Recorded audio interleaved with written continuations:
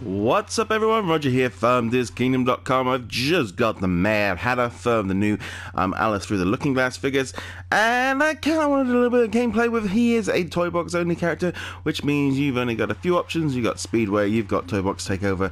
So I thought since we've got a um, Alice in Wonderland um, Caterpillar figure, figure, oh I'm sorry, Power Disc, why not use him in this one? So let's see what he's like in Toybox Speedway. So here we go. So we're in the the caterpillar from the attraction at the parks.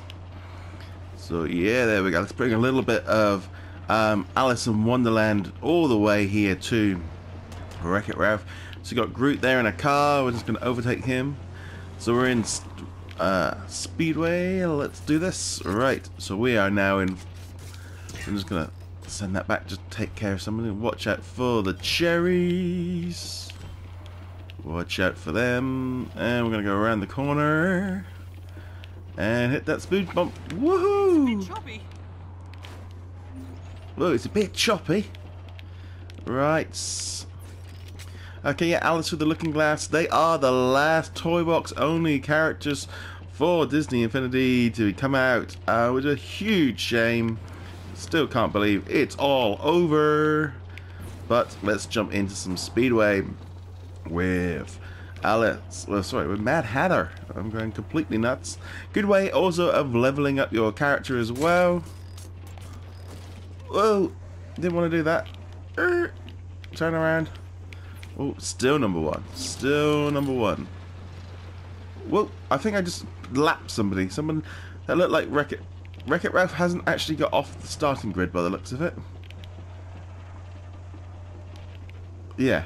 I don't know what's going on there. Wreck it. Wreck it Ralph. He's still sat there. He's still. I do love a good jolt. Keeps Ooh. me on my toes. Oh yeah. So he does. Let's just throw those bombs back just in case. So as you can see, it looks pretty cool. I thought I just, um, I just literally was about to sit down and play this one, and then suddenly remembered we have a Caterpillar Power Disc from Disney Infinity 2.0. So why not? I'd call it a rough ride. Ooh, I'd call it a rough ride. Let's see what he's like in action. It's a real shame we didn't get an Alice in Wonderland playset. I think that would have been really cool.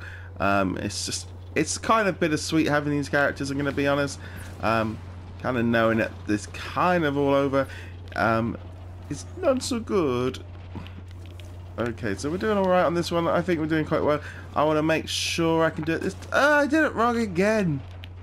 I don't believe it. Right, let's give him a nudge, shall we? One lap to go. Final lap. Right. Doesn't look like he is he is definitely gonna be lapped.